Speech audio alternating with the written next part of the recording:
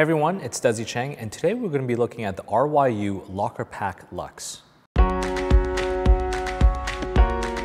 Unfortunately, I'm not too sure which version this is because when I first bought it, there were two versions and this was the second version. However, when you go onto the website right now, there is a third version, but the th third version is called version 1.1. So I'm not too sure which one it is. It's definitely not the version 1.1 though, this one's slightly different.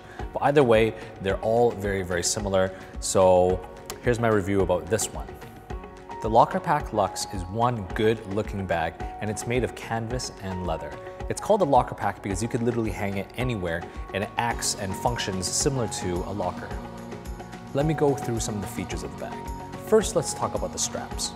The straps are thin and lightweight and contours the body. The straps aren't very padded, but that's okay because this bag wasn't meant to carry a lot of weight.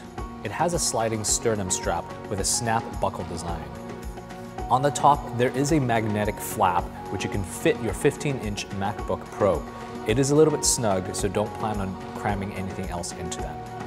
At the top, there's a thin zippered pocket that is great for putting your keys or cell phone or anything else like that in. There are three main buckles that hold the top flap together. The entire bag has some kind of shell that helps keeps its form as well as keep anything that you have inside protected. To access the main compartment, you would unzip both sides and flip the front flap down. Inside here, you can access all of your gear that you need. In this main flap, there's a nice zippered area that's much thicker than the one at the top flap, so you can fit something as big as a wallet or even an external hard drive in it. On the inside, there is another zippered area for small items to secure, such as a passport. There's a pen holder as well as a slot so you can put business cards or even a standard iPhone. There are two snap buttons at the back that also reveal another area which you can fit an iPad or full-size documents. And on the inside, on either side, there's an area to place your water bottle. This is not a big bag, so don't expect to cram a lot of stuff in it, but it's big enough just for an everyday use. As you may or may not know, I'm a photographer and I like to carry a camera wherever I go. So although this is not a camera backpack, you can essentially put a camera in any kind of bag. What I like about this bag is that because of that side access, I can access it on the go and I don't have to put my bag down.